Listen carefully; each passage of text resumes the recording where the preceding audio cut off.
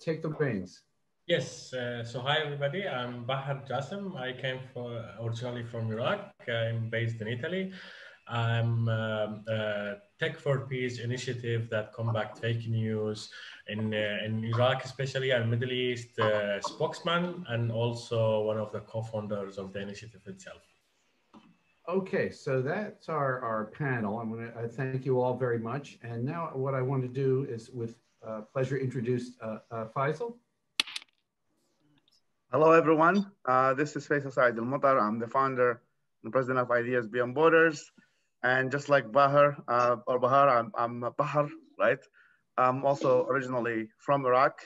So maybe I start with a quick introduction and then I will frame uh, the issue for the, the, at least from my perspective. And I'm also, I share both everyone's, every panel's here about uh, really the, one, the most exciting thing about this event is us learning from each other and coming from different backgrounds and working in different parts of the region and uh, as well as the people who are going to be in the Q&A. So uh, a quick introduction about myself. I'm Faisal. I'm originally from Iraq and I live currently in the United States. And Iraq have its own story of misinformation and disinformation.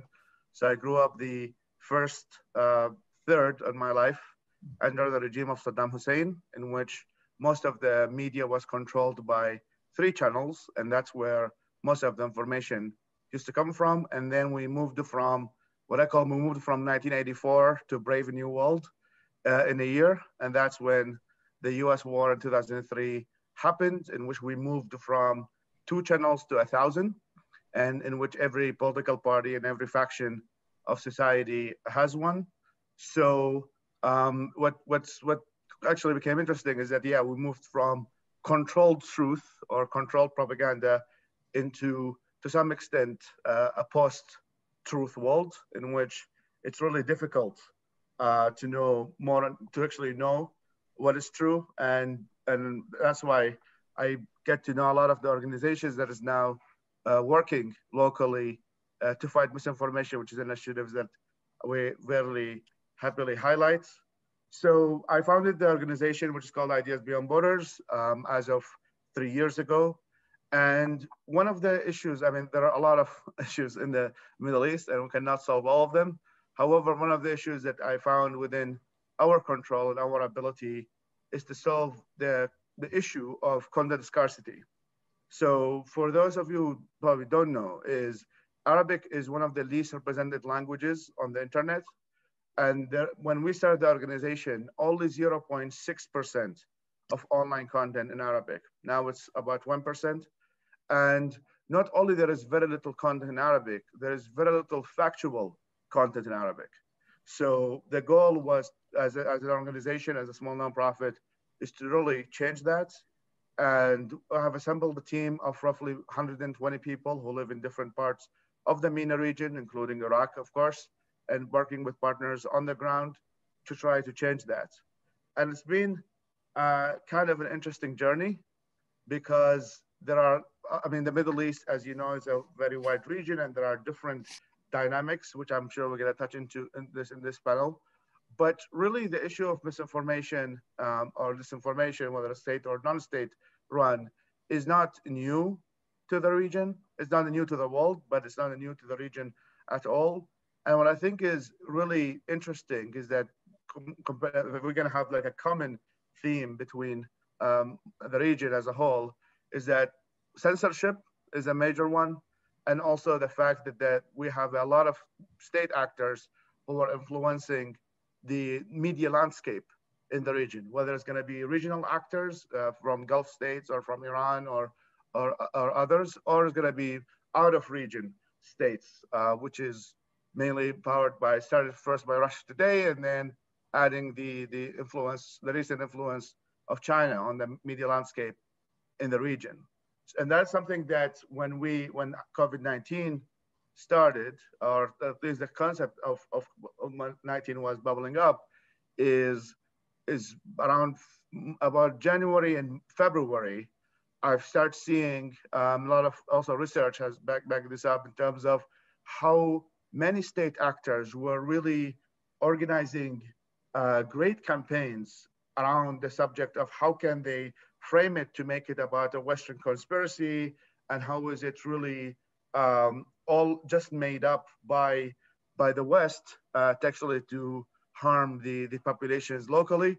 So uh, the first example that I have seen, which unfortunately was shared by my cousin, uh, and, and which is, I mean, we all have our cousins that we're not very proud of all the time, but um, so, and I've seen him sharing the video from CGTN, which is the Chinese official television that is operates in the region uh, in Arabic.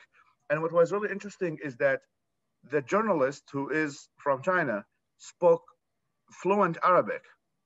And she was, and there was this video that went viral that received more than a million, I think one point now by now 1.5 million of view of how the U.S. did bring up the virus into China, and it was U.S. created virus. And then weeks after is that the bubbling up started with other um, non-state actors and state actors who really were confirming that message and spreading it across the region. So there is always a lot to talk about, but I just want to frame that really the region has had this history of misinformation, disinformation for a while. There are new actors that are coming to the game. Uh, mainly one of them is CGTN. And there are also great initiatives that are popping up um, in the region that are trying to counter that. And I'm so honored to be joining, joining with some of them. So do you, David? Okay, um, very good. Um, so, so panelists, um, you know, given this uh, uh, brief introduction to the landscape, um, what kind of work uh, are you doing to combat disinformation and hate speech and conspiracy theories in, in social media? Um, Carolyn, do you want to kick things off? Yeah, actually, I might actually um, even suggest that my colleague Christina says a little bit about this because we work in two different ways. One is producing content, but one is also working on how content is received. So, how the audience um, has better digital literacy to understand and process and recognize um, things like hate speech and fake news. So um, Christina is, um, is our expert on this in the media department. So if I may, perhaps I might hand over and she can just say a bit about this two-pronged approach that Adyan has. Thank you, Caroline. Expert is a big word, actually, but it's good that we're involved in something to benefit the society. Um, uh, I would thank also Faisal for this um, informative introduction about misinformation and disinformation. It's like what we called recently the infodemic as well. And we know that the information disorders actually have different aspects, uh, not only uh, related to news, related to health, but also we are also concerned about information related to uh, religious diversity and cultural diversity. Uh, before uh, telling you about the work that we're doing, I would like to share with you a small story that I faced years ago when I was back in university. Uh, we had to do a paper, uh, research analysis about uh, the narrative of ISIS. So I had to go to YouTube and search all the ISIS videos, you know, these violent narratives and the violent images that you can see on YouTube. So I did this research for one week almost. And then I found out two weeks after that research that my YouTube is all about, I can see that videos you might like is all about uh, similar videos and similar content that I found on YouTube and then I found uh, on Twitter and then I found on Google. So I found myself facing the same content uh, all the time just because I searched for a while about a specific topic. And it happens that this topic is based on an extremist uh, content. I'm telling you this story to say that the new media is forming bubbles, what is called the social media bubbles, because when we talk about the algorithm of machine learning, we understand that all the content that we're receiving is not actually objective, but we're receiving content that we are based on our behavior, on our digital identity, etc. But these bubbles are not only virtual and are not only uh, online, but they are offline as well. So we see that um, violent extremism in the real life is also, um, it comes from these bubbles where people just live in uh, their, their areas with their communities, with the people that they think the same. So this is why we decided in Adyan Foundation and specifically in the media to break these bubbles. And I'm gonna talk about our work based on two aspects. First, we developed um, a media platform uh, called Ta'addudiya, which means pluralism in English. So this platform aims at uh, promoting freedom of religion and belief, preventing violent extremism, uh, promote the acceptance of differences in the Arab world, and uh, Faisal, you said that in the Arab world, we don't have Arabic content online and we don't have factual content. Actually, we are proud that um, this platform is 100% Arabic and uh, we do provide factual information about different cultures and religions in, in the Arab world. So Ta'addudiya has different uh, sections. First, we have uh, a section called opinion articles, which is based on um, the opinion of um, academic scholars and academic interested in uh, religious uh, matters. Uh, so also the, all these uh, scholars are from the Arab world, from different uh, countries. In addition, we do have different uh, media shows or campaigns. And here I'm going to mention something that a narrative that Ta'addudiya adopts, it's the existential narrative. Because when we want to counter uh, the narrative of the extremists, we have to find uh, a narrative that is as powerful to be able to counter the narrative of the, of the extremists or even the misinformation. When we want to face and counter misinformation, we have to create a powerful information that convince people the same way.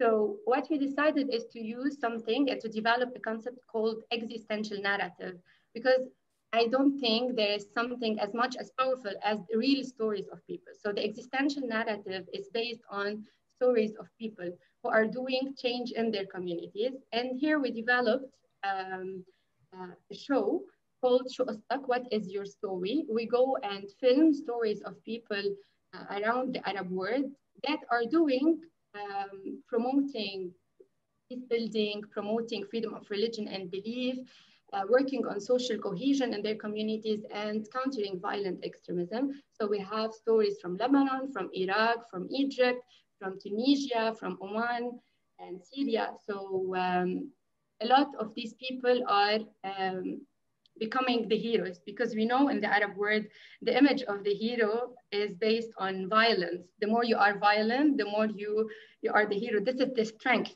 But we wanted to show based on this existential narrative that heroes can be peaceful as well. They are simply doing some change in their communities. So this is a new profile. In addition to that, we also um, developed our concept on how we can uh, make our work more uh, complete or this cycle of change. So we thought that in the media, there is coding and decoding of the message. So for example, when we code the message as Ta'addudiya, we code a message that is inclusive, that is positive, but if the people and the public that we're targeting are not able and are not literate enough to receive and decode the message the right way, the right way, so then like our narrative will not be as powerful as it should be. And this also applies on what Faisal was saying, the misinformation, because decoding is the message. If people do not know how to decode a media message and do not know how the media works in general, they will not be able to distinguish between information or misinformation or know if this fake or not. So this is why we developed a project based on the concept of media literacy to equip students in the school uh, in schools to understand how media works. And the project that we are currently working on in Lebanese schools is um, uh, targeting students uh, aged between 13 and 14 to learn about how they can understand hate speech in specific on social media and how can they counter this hate speech by a very small acts like a comment, by not sharing by reporting a con- by reporting specific content, distinguishing between misinformation and other information disorders that they face. And we all know when people are not, I'll go to the main idea and finish here. If people are not media literate, they will be, have this tendency to get stuck in the social media bubbles and even in uh, the bubbles of the real life as well, and not be able to meet the other and to learn about the other. Uh, so breaking these bubbles will help us to uh, achieve and build the social cohesion. Thank you. Thank you. Thank you for that, Christina. Um, Carolyn, would you want to add a bit to that and then we'll move on to Bahar? Yeah, thank you. Yeah, I just wanted to say a couple of things. One is that, you know, what Christina was talking about, about breaking bubbles. Of course, everything that we're doing online, and of course, in 2020, the online space, you know, has really been a space where everyone's been spending a lot of time. But uh, we're also, of course, always thinking about the offline work that we do as well. So while we're thinking about um, people's online behavior, the kind of content they might um, interact with. We also have many projects that are, again, focused on breaking these bubbles, and one of which is our work in schools. So we make sure that we always have that approach as well. So we're thinking, I know today's conversation is about um, the online space, but we definitely take a very comprehensive approach to that as well, thinking about in person as well as um, as well as the online space. And you know, something that um, you know, my second point was something that we're very keen to understand is how people change their behavior based on what they interact with online. And this is a lot of um, a big focus, I think, for not just us, but a lot of organizations, because um, it's very easy, of course, to say what people are looking at. You know, anyone can say how many views or how much reach content has had, but how has that actually impacted on their behavior? And I think one of the concerns is, you know, the bubbles that we've been talking about. A concern is that perhaps you see something online, maybe you agree with it, maybe it resonates with you, but then you go back to your real life bubble and you contain, continue acting, acting in the same way. So we're keen to also study what kind of change is made in the offline space. And that's some work that we're doing. Um, and as part of that, my final thing I wanted to say, as part of that, we, um, Adyan partnered with Facebook to assess how our CVE, our counter-violent extremism content, how that is received by users who had been assessed as being vulnerable to having violent extremist sympathies. So that's a partnership that we did as part of this process of trying to understand uh, what is the real life engagement and real life impact of the online work that we do. Very good. Thank you so much, Carolyn. Um, Bahar? So yes, um, as I mentioned uh, in the beginning that I came from Iraq originally, how the idea that came uh, in order to present such an initiative called the Tech for Peace uh, nowadays or now like in front of you.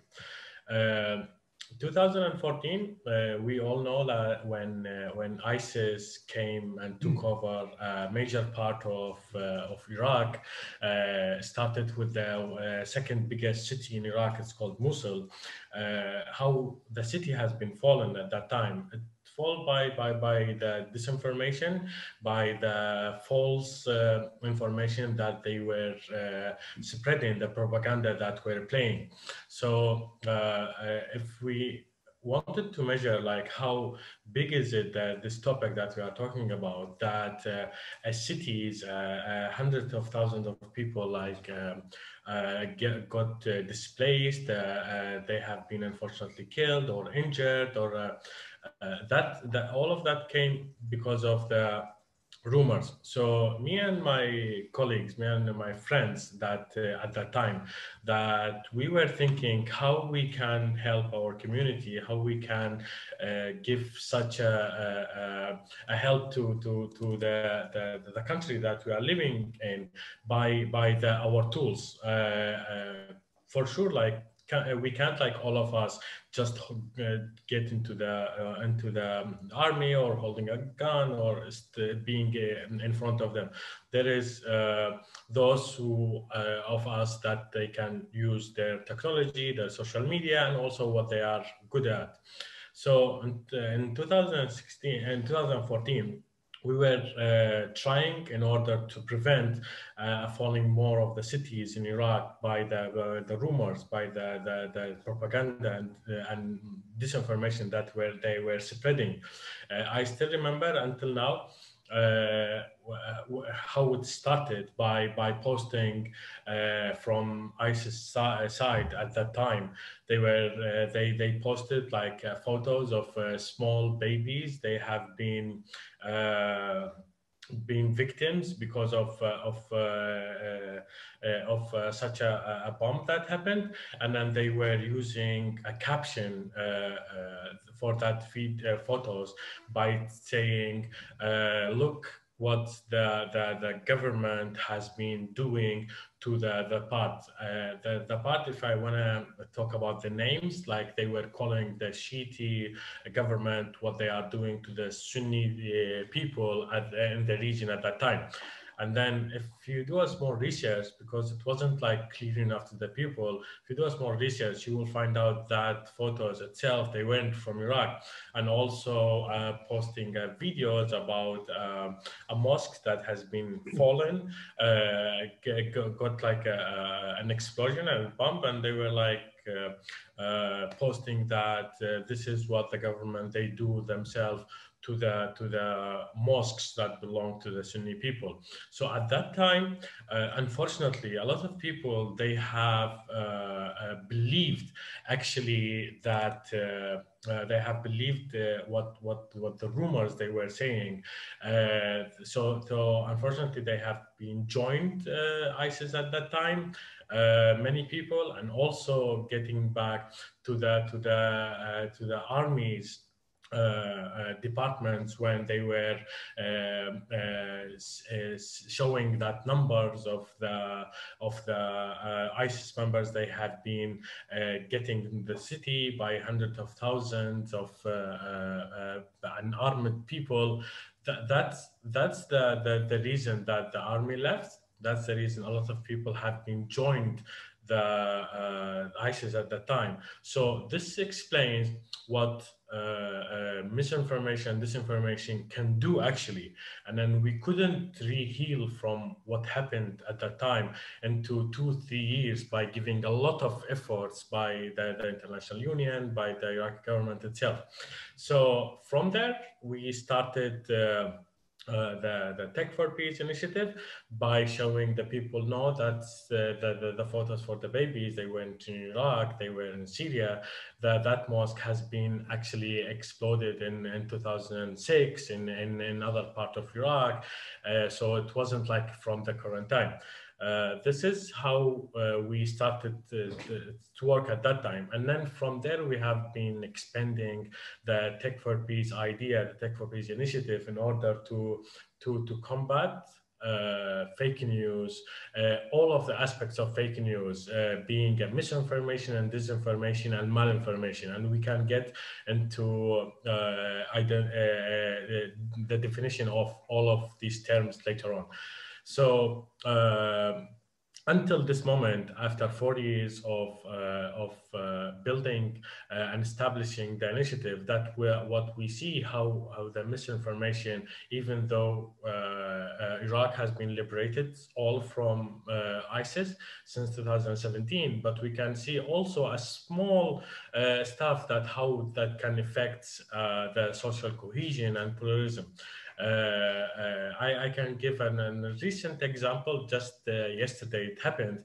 I know that in in some of people's heart were to, to, to separate the the hate speech and and and and, um, and rumors, but then also like uh, the the fake news, the the the misinformation gives them that opportunity actually to express what they feel inside themselves uh, toward to the, or the community themselves.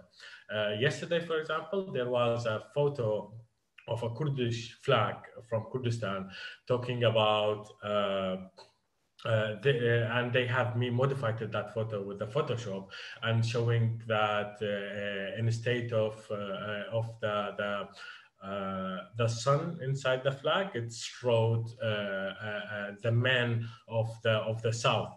So when we showed the people that this photo has been actually modified and then it's not true so that fake news gave actually a space for those who you know, they can express by commenting against social cohesion by telling, oh, we didn't know, for example, uh, this is just a, between the codes of the comments that I am saying. Oh, we didn't know that there were men exist actually also in Kurdish part. So these small comments by by thousand that can follow and then uh, given a space by an uh, uh, uh, misinformation disinformation itself so this is uh, how we counter and combat fake news by explaining to the people not just in order to telling them no, that's a fake news in order to teach them, in order not to react with all sort of, of the misinformation and going on around. Thank you, uh, Bahar, for that real world example. Uh, just happened yesterday. Uh, really good stuff. Um, I, I, think I would be remiss if I didn't give uh, Faisal just a short, a brief opportunity to talk about what uh, uh, what IBB does, because I don't think in his introduction he, he really zeroed in on that. Faisal, could you just give us uh, our guest a brief explanation of what IBB does to combat disinformation Yes, of course, and and and just I mean I'm really interested to see the research, Caroline. I mean that's uh, um, if you're able to crack the code, uh, you, you, deserve a Nobel Peace Prize, in my opinion. Uh, so that's that's really great that you guys are working on that.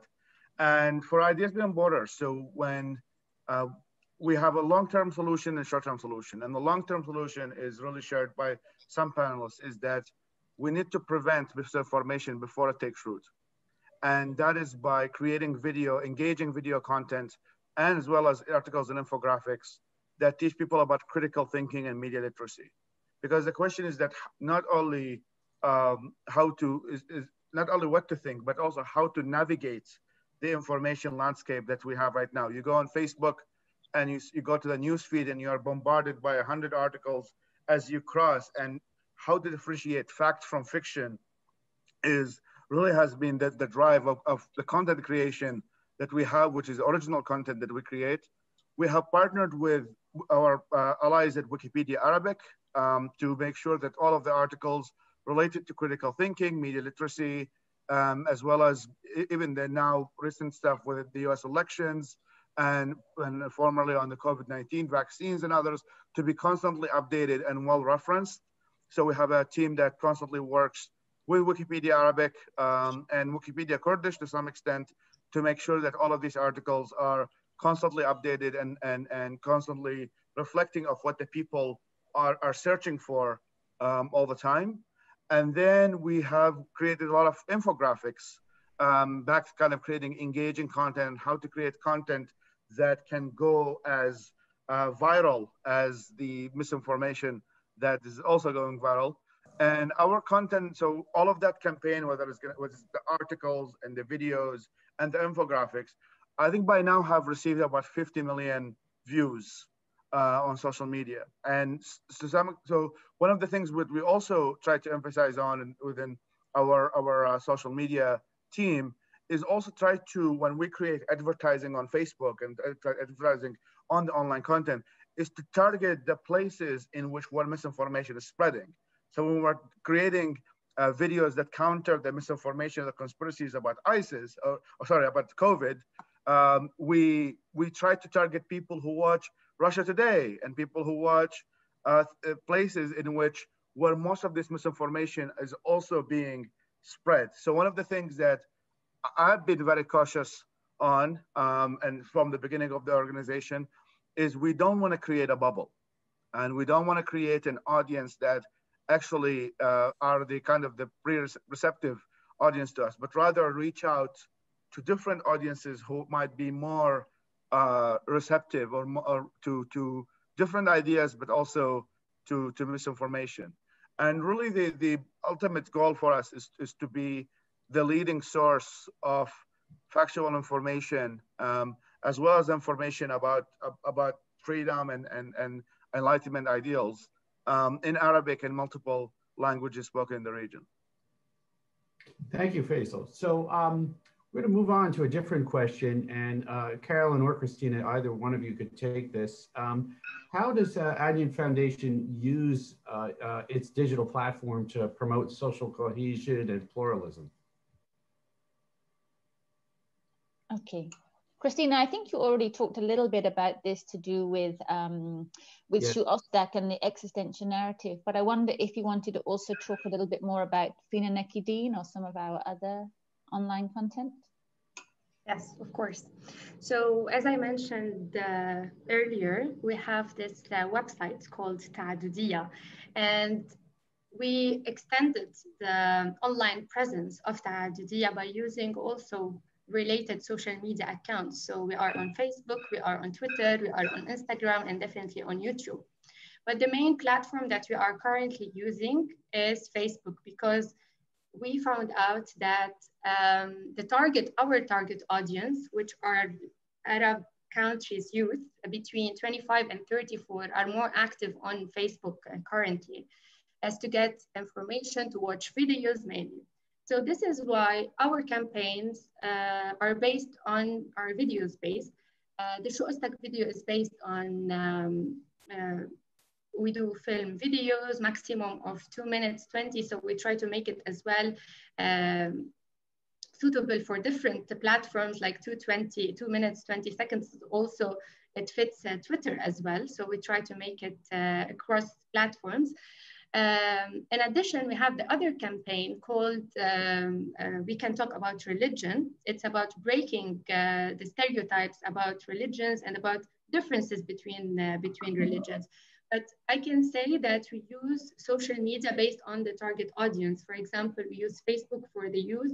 We use Twitter for uh, more um, uh, religious problematics, uh, for discussions. We use Instagram for more content related to pictures and to polls and to questions. So we are trying to customize our uh, content to fit with each uh, platform. I hope that answered your question. We're talking about the format more than the content, right? Yeah, that that's that makes sense. Uh, we do want to uh, um, talk in terms of the, you know, what are the what are the tools we're at, at this moment. We'll get, we'll dig into a little bit more about uh, successful examples and things like that in just in just a minute. Thank you for that. Uh, Carolyn, did you want to add to that or we? Yeah, I just wanted to add, and it was also addressing one of the questions that we've received in the chat about this link between the online content that Christina has been talking about and then our offline, our in-person work as well. And, you know, and it's something that we are very conscious of at Adyan. You know, we have our own media department, so we're very keen to not just um, promote our projects, but, you know, media is a project for us, but we always maintain that link with our other work as well. So there's many links between the online content that we're doing and our um, offline or real world networks that we have. So some of the content that Christina is talking about, either people who are core participants in our projects, they perhaps feature in some of the videos, um, whether it's Shuostak or Fina Nekidin, and they also use this content um, as sort of as a starting point or not just promoting it online but also using the language of it using it for um, for discussions. Um, so some of the networks that we have one is um, a forum of religious leaders in lebanon and they're very involved with Ta'addudiya, either in producing content but also in using this content within the networks that they have. And this is a core part of our pve strategy which is that there are spheres of influence and those who are most vulnerable to be recruited um, to extremist ideology. Adyan can't reach them. You know, we don't have the language or the commonality to reach them. But the people that we work with, those religious leaders, they are in the right communities and they have the language and the commonality to reach those people who are vulnerable. So with our media content, um, they engage with it, they help us with the content, and they also use that as part of their outreach. That's one network that we have. And then we also have a regional um, network of religious scholars. And again, they use the content that we have, they help produce it, and they also use the content that we have in their messaging and in their um, in their narrative. So in their real world offline conversations with people, whether they are academics or whether again they are maybe religious figures. So the kind of language and the messages um, that we use in our online work, this is also being the exact same work and language is being used in our offline work as well. So I think that's quite an important um, approach that we have is that we don't see the online space as distinct, completely distinct from the real world. We're very keen to um, to create that um, that awareness that these can also be. This needs to make a change in the real world as well. And I think you know one of the things that with the online space, you know, it's a problem with things like online bullying or or negative speech is that people think I can just say whatever I want without thinking about this is a real person that you are speaking to. I think this kind of disconnect that we can have when we think the online space is just distinct and it's just words on a screen and not real people. This, I think, can be a problem with the online world. So we're very keen to make sure that we also think about using the same messages throughout our networks in the offline space as well. Very good. Uh, thank you. Uh, Bahar, um, how does uh, Tech for Peace use its uh, digital platform? Sorry, go again. Uh, yes, uh, uh, Bahar, what I, was uh, over to you. Uh, how how does uh, Tech for Peace use its digital platform in promoting social cohesion? Well, all our based, all our work actually based online, and then and I mean like ninety percent of it, a part of the trainings that we do it physically. But how we do do we use digital to in order to uh, promote the social cohesion, as I mentioned briefly uh, on, in the first question, that is by showing people uh, not everything that you are reading that it's written against one on to other. When we are talking about Iraq, uh, we are mentioning here there is seven to eight different religions that they are in Iraq living all together. And then uh, every single religion, they have like Kurds, Arab, Turkmen. So they are very, uh, the pluralism and uh, uh, uh multi uh, ethnic groups that they're living in Iraq. So this uh, mess that happens actually, it's we try to, to counter it and combat it by saying by by by using our social media platforms. it's not true enough that what you hear you have to always get through the sources to see whether that it came from them or not uh, the, the, the, example that I gave, uh, what could get uh, against the social cohesion, it's uh, it's by spreading the rumors about uh, the, the Kirkuk, what, what happened in 2018 uh, when the Baghdad central government has tried to take uh, control over what's happening in Kirkuk and so on, because there is like this infinity uh, problems between uh, Baghdad and Erbil uh, governments about Kirkuk and stuff. So they, the, all the, the rumors they were spreading that uh, uh, the, the, the, Iraqi army has been coming into Kirkuk in order to to arrest and then to mass use their power in order to take out all of the Kurds again from to, to, take them out of from Kirkuk. So uh, easily, uh, hundreds of people they were like leaving their homes, leaving their where where they were living in order to to to go to Kurdistan region, like more deep in the north but then like this is what the, the role that we play in order to uh, to showing the truth in order to giving them uh, tools that they can verify it by themselves in order that uh, that's not true. Uh, uh, the digital security has an as we call it in Arabic, it's a weapon that has two sides, whether you use it for good or whether you use it in order to create a mass. So we promote it by by the defeating the the the uh, the, the fake news and rumor, rumors that comes from the source itself, no matter what, uh, what's the background of the, the, the ones that they spread it. Thank you, thank you.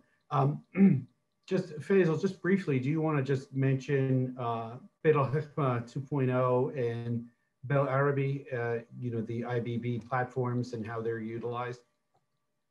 Yeah, definitely. Um, so we, I mean, we definitely take the the kind of the cultural context and really um, the cultural identity of most of our audience, or really the target audience, um, in when we designed our programs and kind of even our branding our programs. So our main program, which is the kind of the the the, the one that I was talking about in terms of translation and content, and we have a university program inside Iraq and Mosul and other parts of the country. It's called Beit al-Hikmah 2.0. And Beit al-Hikmah is used to used to be in the 13th century a symbol for translation and knowledge, uh, knowledge exchange and pluralism in the Middle East.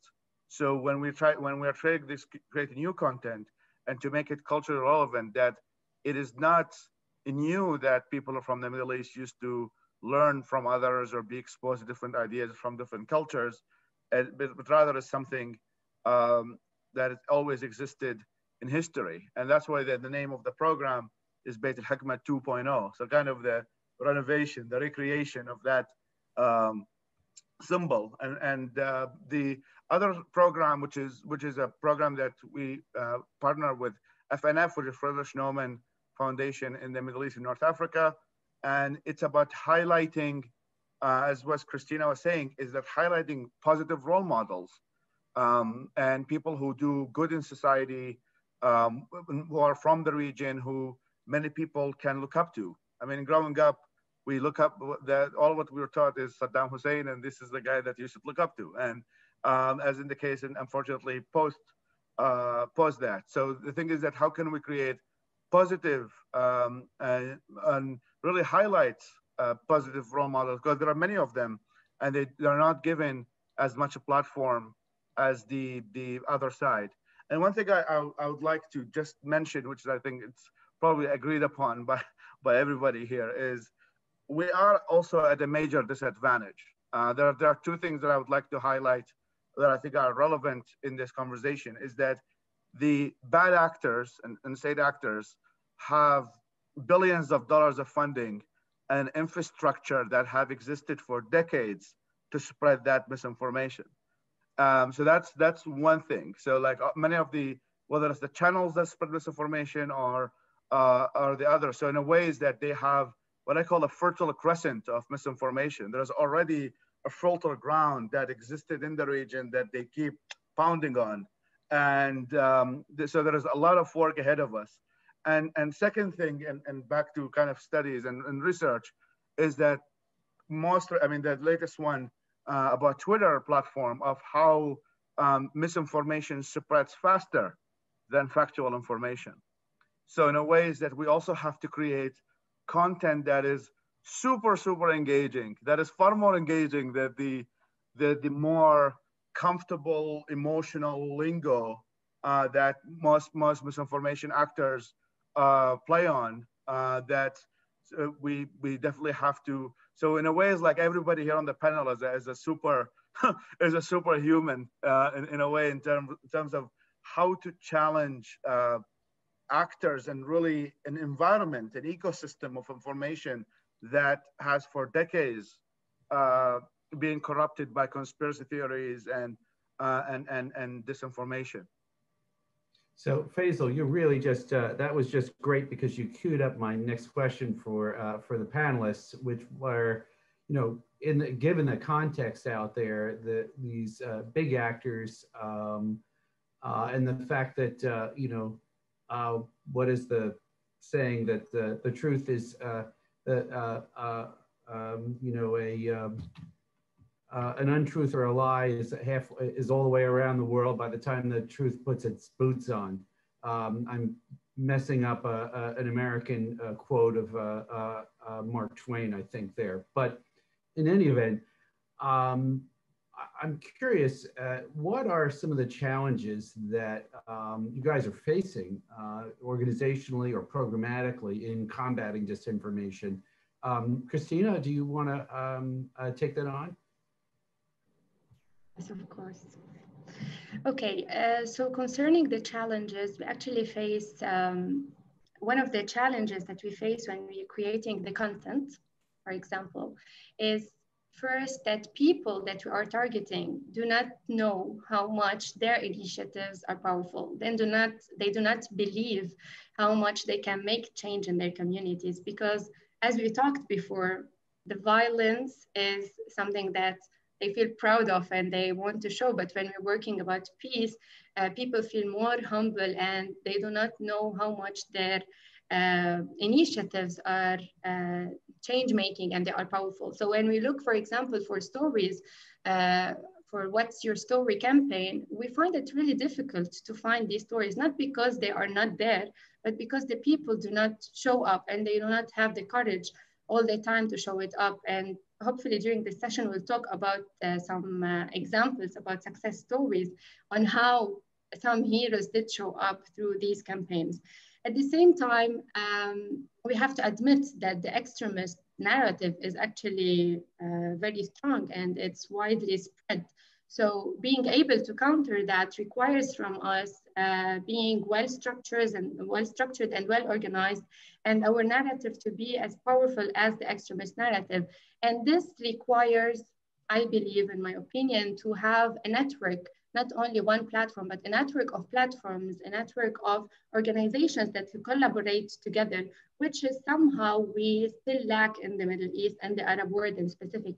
So uh, we see a lot of organizations working separately, but I believe we need like an alliance, just like the Alliance for uh, Peace Building, to be able to counter that because uh, individual efforts or organizational efforts will not be able to counter um, this uh, global uh, phenomenon, if I may say, but we need uh, to combine these efforts together.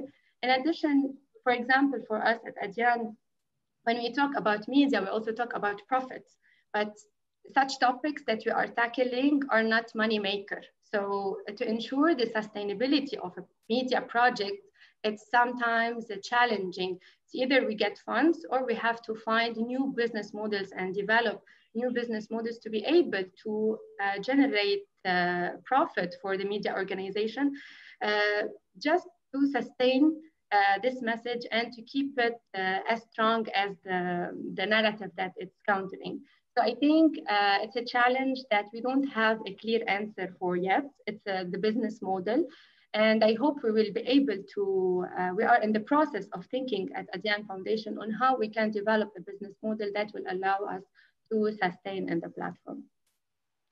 Great, great. Uh, that thank you for that, Christina. Carolyn, uh, I, I know I keep asking this, but do, do you want to do you want to add to that or? Uh, uh, yeah, no, it's it's great for me because Christina gives me lots of things for me to think about as well. Um, yeah, I just wanted to sort of um, continue on what Christina was saying that you know something that we think about is that the negative news, the extremists, you know, these really can grab the headlines. They can um, you know they can dominate um, and you know this this sells you know particularly these days this sort of very shocking extreme news can dominate. But you know we are also very interested and you know it's something that we don't have the final answer about how we're going to work on this. You know like christina is saying networks are important but you know there is also this silent majority. Like christina is saying the individuals who are doing amazing work in their communities without even realizing just how powerful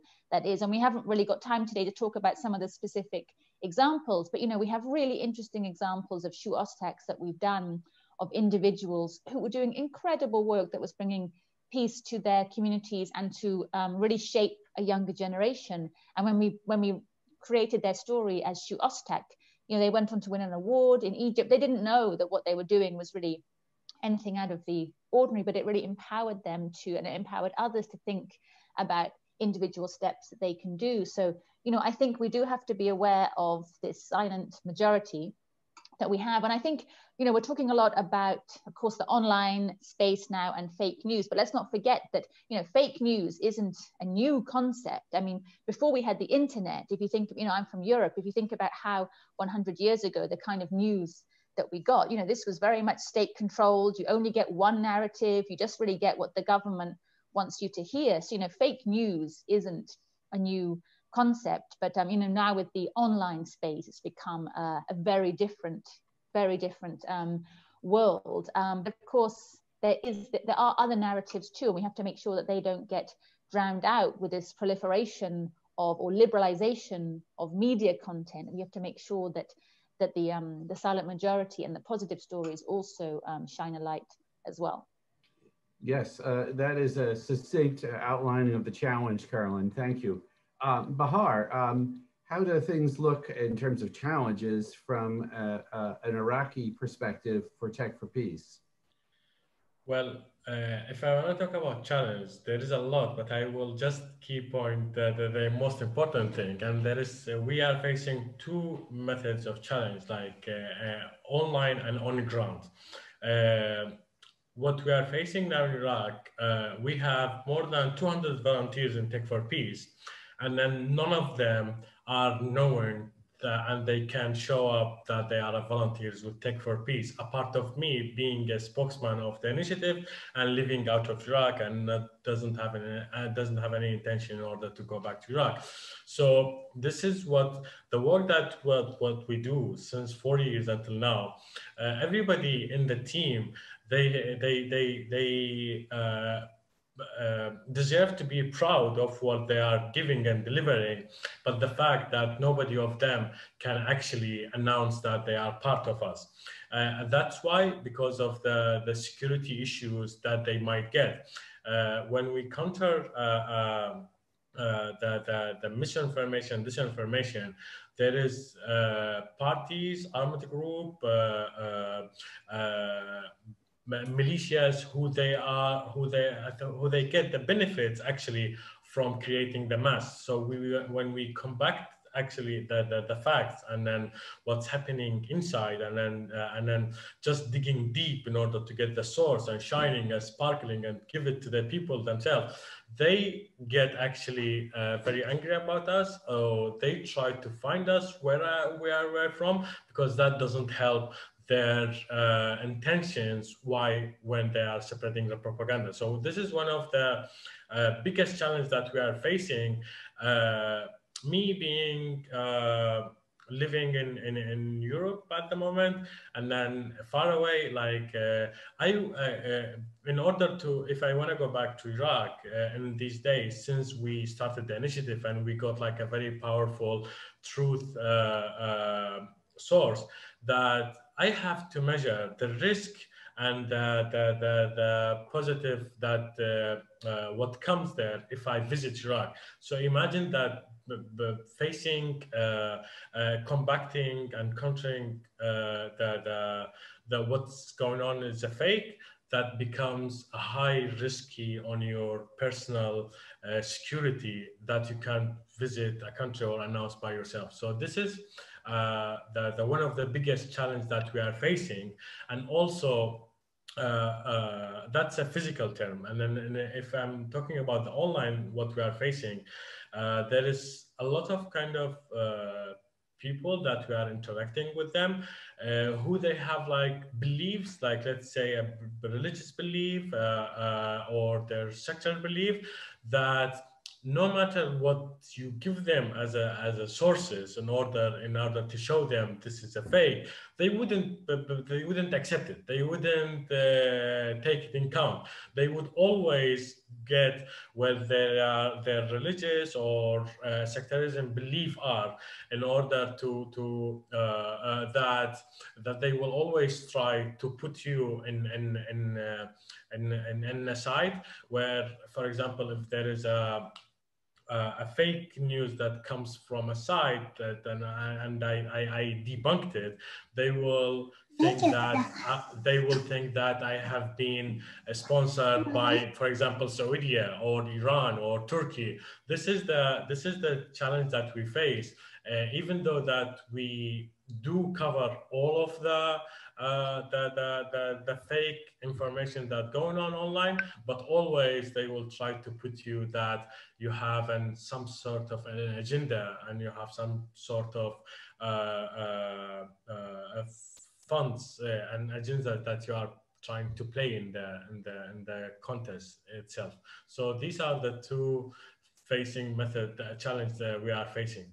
Right. So Bahar, you remind me of something, uh, Faisal. You know, one of the things you've said is that uh, you know you can't go out and combat every piece of disinformation or misinformation uh, that's out there. Uh, there has to be an approach of providing other kinds of content.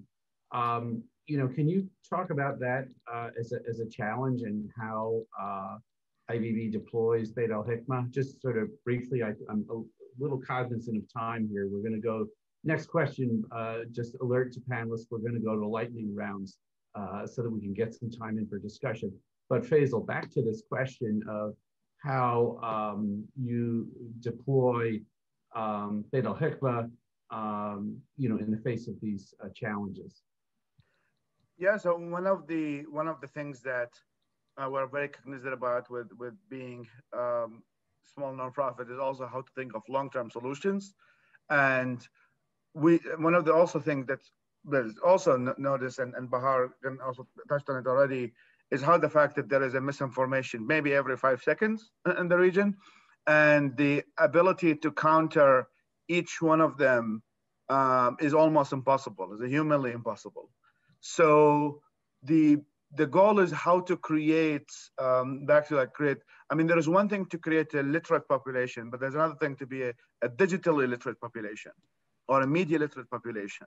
And how to um, really i mean one of the videos that, that i think was really interesting that we created about how to avoid sensational headlines and how to uh, when you are browsing the, the, the internet or browsing youtube really because it has a lot of these uh, um, I mean, even in English, it's it's it's it's uh, same because everybody's trying to get uh, the the user attention of how to avoid these these uh, when when you look at these terms and really how to avoid opinion section versus editorial. You would be surprised that many people do not differentiate between somebody writing an opinion about something and actually a report about something and and and I mean in America there is obviously the business of a news show host and and and many multiple people who are constantly uh, filtering filtering things from from that angle. But I think is that really uh, one of the videos that really like was got a, lot, got a lot of conversation, but also informed a lot of people about how to really differentiate between um, that between the opinion versus editorial, how to avoid sensational headlines, and really how can you create a population that is um, I call it the vaccine against misinformation.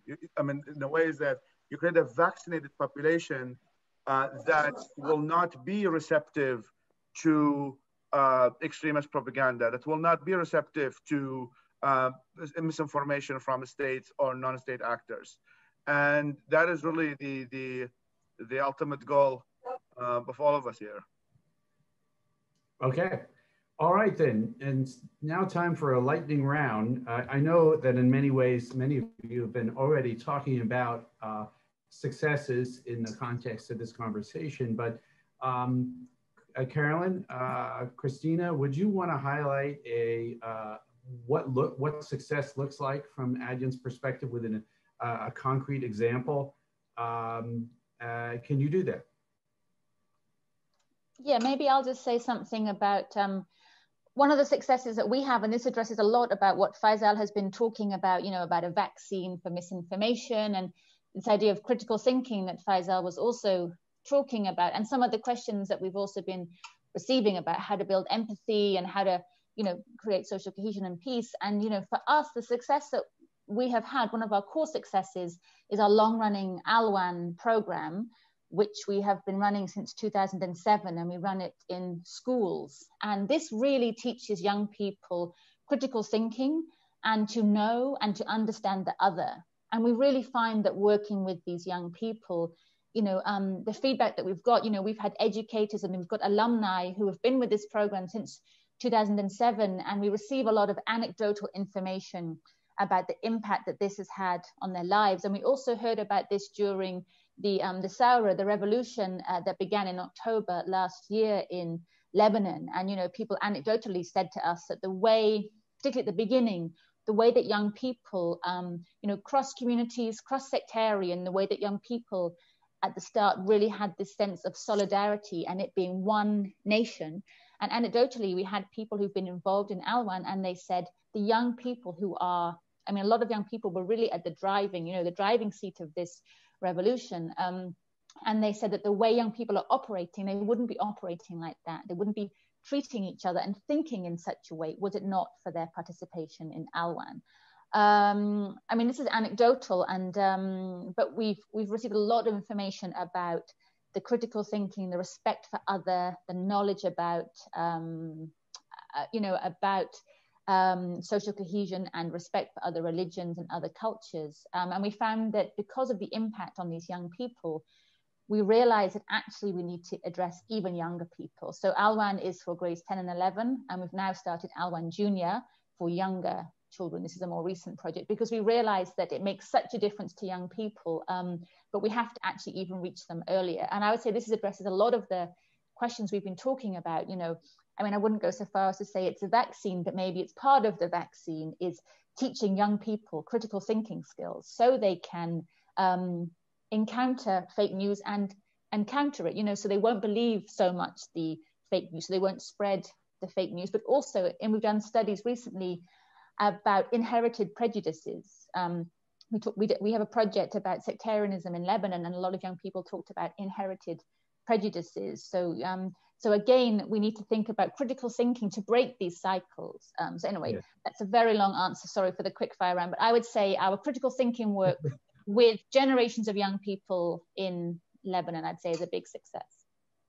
That's a whole lot of lightning. Uh, lightning storm, sorry. Mm-hmm so so but that's okay. So um, what, what was also good there was that you mentioned a little bit about some of the challenges around measuring success uh, which i hopefully we can get into that during the discussion.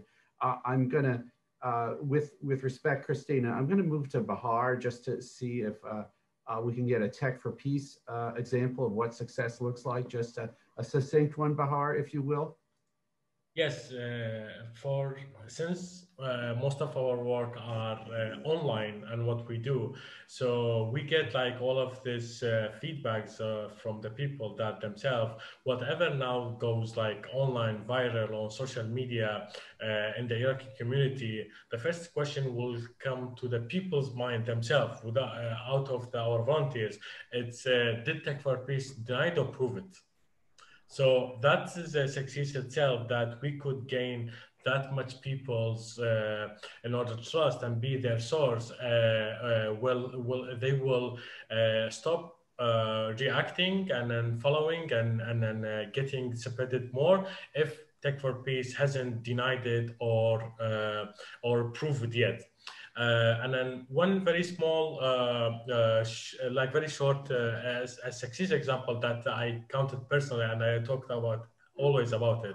It's in a couple of years ago when Mosul has been liberated from, uh, from ISIS. And then uh, there was this kind of uh, publishing uh, the, the, the, the, fake information about uh, people themselves where uh, where they don't like each other or they have problems against each other. So they published all of the information about a guy with his picture and then with the name of an isis member that has been killed previously. And then the, the iraqi go- country, the government they has been arrested that guy because like they got the names and stuff like from the internet what was going viral and his family they escaped to northern Iraq, we could get a very detailed research about it. And then by, by publishing that on our platforms, his brother had, uh, actually got our post and then like uh, and printed all all the sources and and delivered to the government. And they released him and his family they could get back to his home as well. So that's one of the very big um, uh, the things that we do, and then I am proud to always to to to talk about it as a very sexy story. That is amazing.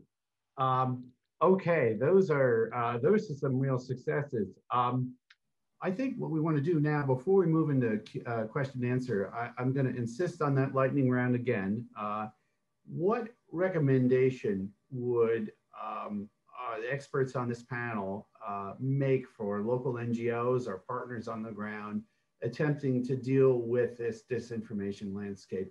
Um, Faisal, what I want to do is just kick off with you, and then we'll go to Carolyn and Christina, and then and then Bahar.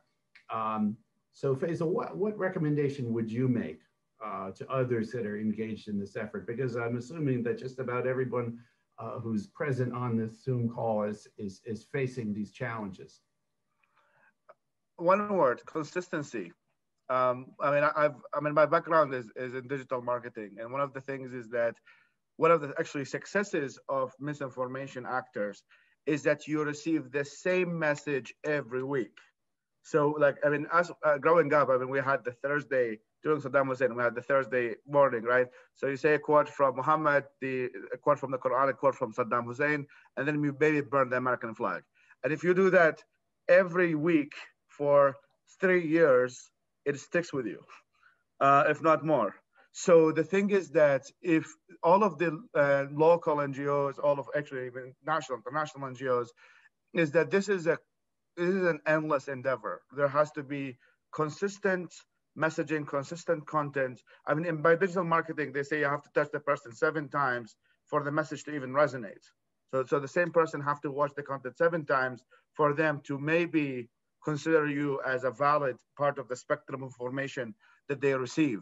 Um, so if you're a local NGO, you have a power of like really within your local community, is see if you can figure out a weekly hangout uh, about the, the conversation of, of fighting uh, misinformation because otherwise out of sight, out of mind, and you'll be forgotten in a little bit because there's uh, you go to the Facebook again and you you are bombarded with a lot of information from different sources and you forget that you have even encountered the one before. So consistency is the thing that I would advocate for, and it's advice I need to follow as well. All right, uh, Faisal, thank you. Consistency. Uh, uh, Carolyn and Christina, um, do you have a word or two? Christina, you should go first this time after I spoke so much last time. Yeah, I'll, I'll just go very briefly, then give you the floor. So um, I, if we go back to the initial um, pillar of this conversation, we're talking about social cohesion. And I believe when we talk about social cohesion, we're talking about this space where there is a, a common set of values that people share in a society, in a community, or even in the world. So I believe whatever the tool that you are using, education, media, uh, policy making, uh, research, everything, we have to focus on uh, enhancing the values and uh, enlarging the space where people can learn new values and can share their values and have this common space together. Because if people will not have common values that share uh, all over the world, we will not be able to, um, to succeed in creating social cohesion and even preventing violent extremism or countering hate speech or all the missions. I think everything starts from the values and here the education plays a very essential role. Thank you. And Carolyn, do you have a recommendation to add to that?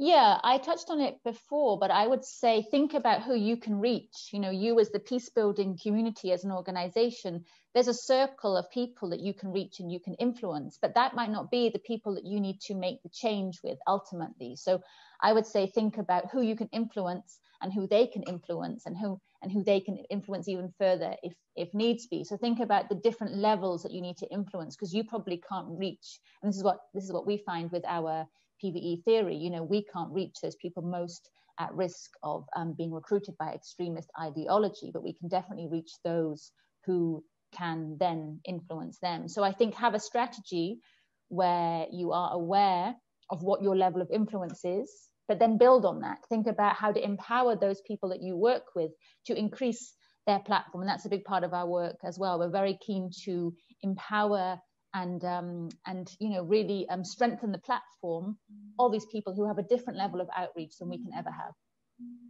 invaluable uh, strategic perspective uh, thank you so much uh, Bahar, what uh, uh, from a tech for peace perspective uh, what recommendation would you make having been on the ground in the field online for these last many years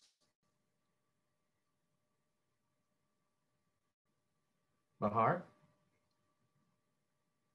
Ah, well, perhaps he's uh, muted or uh, had to drop off for some reason. So uh, we're going to move on to our uh, Q&A period here. We have uh, uh, roughly a little less than 15 minutes for, for that, for the discussion. And what I'm going to do is pick items up from the chat. And what I've just noticed is this, this, this enormous chat. and I'm going to apologize in advance for missing all this, these, these absolutely incredible questions. So I'm going to do my best. I want to start off with uh, Britt Sloan's question. He says, I'm interested to hear uh, the thoughts of the panelists on how we can in, uh, create incentives for people to engage in meaningful rumor control. In other words, your the followers or constituents, how do you actually incentivize them uh, to engage in rumor control? Especially because it's so easy for people to simply believe in conspiracy theories out there and you know allow them to feed their fears. So, um, how do you incentivize people? Uh, anyone? Um, and I can start. Uh, please do. Um, yeah, I mean that that's something that we always think about of, of really the question of sustainability and also um, the question is how to create uh, truth defenders. And really um, I mean that's one of the things that that we are aiming to do with Wikipedia and really volunteer culture within the MENA region to make sure that uh, Wikipedia is constantly uh, updated and matches um, the others one around the world. And I mean there are two two I mean capitals. There's the financial capital and the, and the social capital, and it, it might sound like a naive, like a na- naive, but even very simple things to, to, say, is to really make it cool, um, is to make it interesting to be yeah. on the side of the fact checkers, and because the I mean, I, I grew up when, when extremist recruiting was common in my neighborhood and also common in the area of West Baghdad that I grew up in. And there was something really interesting about joining a terrorist group. Um, it, it, it, there was, you are, you're a, you're a strong man. You're, you're, you're defending your neighborhood. You're the, um, you have all of the kind of detachments. You're called mujahid. You get called a lot of things that are mainly positive. And you don't have to kill anybody. You just have to join. But so the thing is, is if we obviously we don't have that going on our end. But but I think is that if we make it as socially important, as socially powerful, uh, to be held. Uh, I mean, we, we have a lot of respect for imams and, and church leaders and all of that stuff. Well, probably we should do do similar for fact checkers, and to be for them to be held into some respect. The way that will be a social capital and incentive for people that when they are on the side of facts, they are uh, viewed uh, with respect. Very good. Now, Bahar, I don't know if you've rejoined us at all or no. Okay.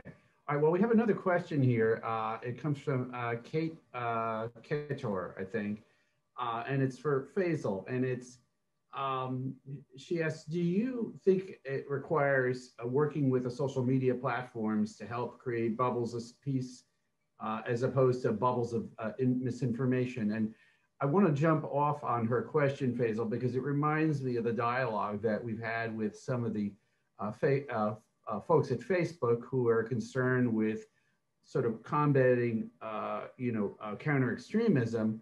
Uh, and I remember your question was, well, what about the good guys? Can you just talk a little bit about how you look at these two things, the positive versus the negative? Yes. So um, what, one of the things that that I, I think it's I mean it's one question a messaging question also is that there's a lot of focusing on countering violent extremism, right? Countering the bad narrative. But the question is that how can you promote the good narrative and not take kind of the precautionary approach or the prevention approach, but rather focus on really making the, the good things happening to be and amplify that, not necessarily to counter violent extremism per se, but really to amplify it for amplifying its sake and then as a consequence will be the counter violent extremism. So that's that's something that uh, we have. Take, I mean, one of the reasons why we, the program we launched with Arabi was to highlight the kind of the voices in the region um, that are positive, and also to to add to what Christina was saying about really the need for. Um, I mean, if the bad guys are united, why not the good guys uh, or the good people? And really, kind of, I mean, just from this panel, I, I learned a lot from I mean, I know Adyan and us both applied for the same grant uh, just the last month, so we definitely are in the same space, and and it would be great for really us from sharing our experiences and expertise to really uh, work together um, to learn from each other as we're doing right now. That's great. Uh, um, another question is. Um, there's this question about uh, that uh, uh, actually I'm not sure who raised this question about trust and what is the role of trust in um, your program's uh, success or failure? Because if you're not a trusted source, then obviously you're not going to influence anyone. But how do you develop that trust uh, in the community and how do you engage people in that way over time? What's the best strategy for that? Uh, Christina or Carolyn, do you want to take that up? Yeah, I can take a bit about the media aspect. Maybe Caroline can talk more about the offline work that we're doing. But I believe um, the first step to build the trust with the people is to speak their language, as simple as that. First, speak their language and engage with them. So this is what we do on Ta'addudiya page. We try to simplify our content as much as we can. As we, as I mentioned at the beginning, we use this existential narrative to use uh, credible um, images or um, profiles of heroes, but at the same time, in the articles, in all the videos that we share, we try to use the language of the people. And when we have this, we receive a lot of comments, we receive a lot of feedback. We try as much as possible uh, to engage with the audience, to when they ask question, when they uh, raise a negative comment, we try to ask question and open conversation about it. Uh, very rarely we do uh, remove any comment, um, except if there is something um, that's against our media policy. But uh, we try as much as we can to moderate the conversation, get in touch with people, and speak their language. Ah, very good. Uh, Carolyn, did you have a, a, anything that you wanted to add to that? Or? Yeah, just quickly, I think that um, the networks also of an organization are such a huge factor in terms of it building trust, you know, because these these people um, they're not employed necessarily by the organization, but they really are the ambassadors of an organization. And this can really improve the and enhance the outreach um, of an organization and also also that trust because you know we're 19 people at Adyan, but we have a huge network. Um, we have um, ambassadors, we have youth network, um, both in Lebanon and in Iraq. We also have um, a network of trainers, um, and this you know in 13 different countries across MENA. And this really helps, I think, with with trust because these are the people who are working at the grassroots, you know, every day. So I think the fact that we have these long-standing and these are ongoing you know these these networks and also our alumni groups i mean these are with us for life um, i think this really helps that we have these existing and continual networks in many different communities across the region i think this is a big part for our um, trust building so Faisal, did you want to just mention just briefly uh, a little bit about trust building in the IBB context? And then uh, there are a couple of other really good questions I want to get to here. So, so go right ahead.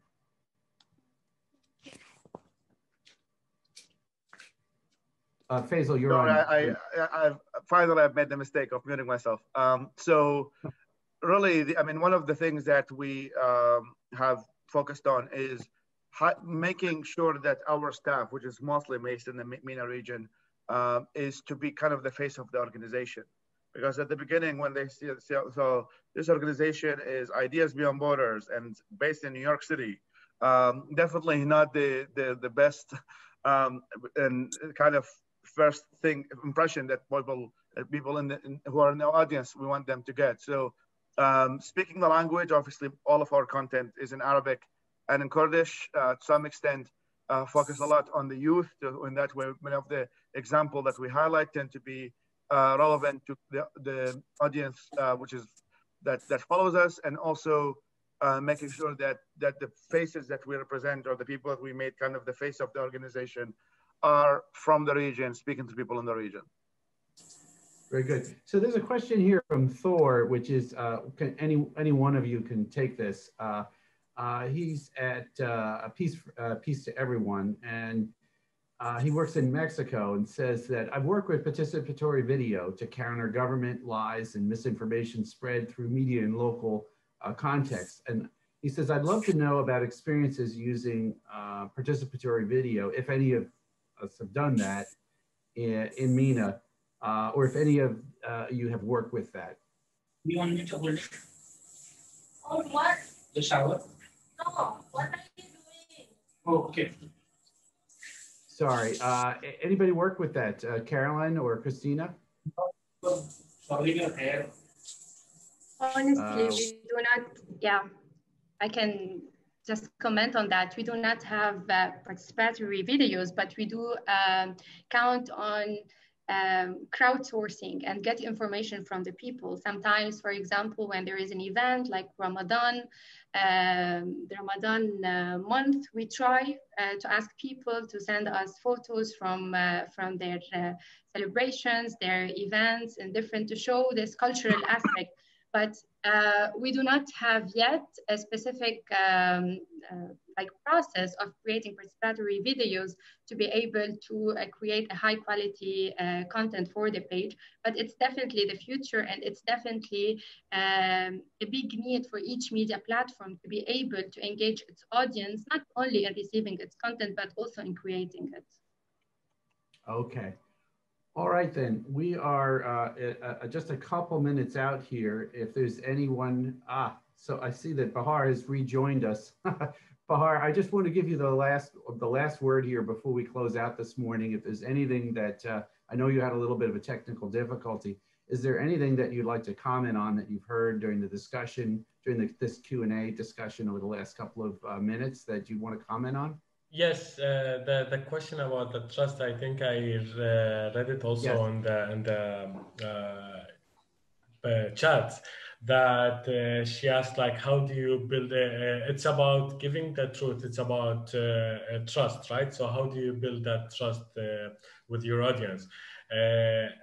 what I always mention when I go online on TV or speaking out of our platforms that we have been working here in order that myself that uh, when we debunk all of this uh, uh, misinformation that's happening i'm helping uh, from a perspective that from my from my mom she always sends uh, messages to the page itself by asking about misinformation. So that's help starting from my family themselves and then expanding to the community all by itself and then uh, we never, for example, we never give out an information without giving them a resource, uh, the source for it. So the people themselves, they can depend on just like about what we said about our analyzing. No, it's about this uh, the source, so that uh, there isn't a discussion that how, why did you analyze it in that way? Why didn't you analyze it in that way? No, this is the, that we we wrote and minimize it, like sum it up for the people to, to clarify it, and then they can uh, go back to see the, the source by themselves. So this is why how we built that trust in the last four years by giving out the, the source like a sparkling, a shining uh, uh, thing to them so they can verify it by themselves. This is how I built the trust in my own initiative. Brilliant. Trust, but verify, as uh, uh, someone once said. So I, I want to uh, uh, just uh, close this morning with, uh, uh, first of all, I'm deeply grateful. I think all of the panelists and uh, Faisal as a co-moderator, really deeply grateful for this opportunity for the organizers of PeaceCon 2020. also to every participant here this morning. Um, there were there was such a, a, rich and vibrant chat. I could there was just no way for to do justice to it, but those of you who are reading know you can give justice to it. Um, I hope that uh, you have the, a wonderful rest of your day and want to thank everybody very much for the participation, especially the panelists. Uh, and with that, I think we are closed for uh, this morning, this afternoon, and this evening.